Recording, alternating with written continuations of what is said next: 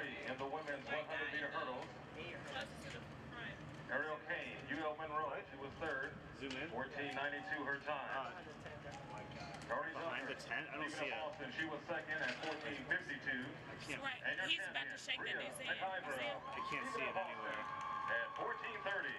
Where is? He's. You see them black people on the Stephen F. Austin? It's the white guy The white guy in purple with the in the purple, and All the right. dude with the white shirt is behind him. Oh, I see. Yeah, right there. Yeah, I see. him. Okay. I have to figure something out. I'm staying on this. Does he want me to?